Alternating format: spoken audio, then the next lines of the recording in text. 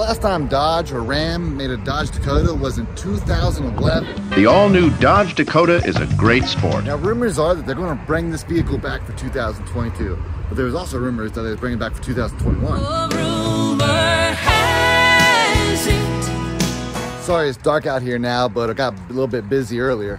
But in 2020, we released the Jeep Gladiator as the 2021 Jeep Gladiator. Jeep Gladiator is a mid-size pickup, which in my opinion gives us a good idea that this is where the Dodge Dakota would come from if it did come back.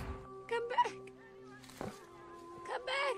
Come back. I mean, if you already have a mid-size pickup frame, why wouldn't you go ahead and use it for another mid-size pickup in the Ram brand? It would only make sense because you could probably make both vehicles on the same assembly line using different badging and different logos. Obviously a different front end design as well. When I was in high school, I actually had one of these, 1992, I think it was, Dodge Dakota. It was the ugliest brown you could ever imagine. Brown brown but fingers crossed with the Jeep Gladiator model and the body style and the frame, maybe we'll get another Dodge Dakota. Maybe.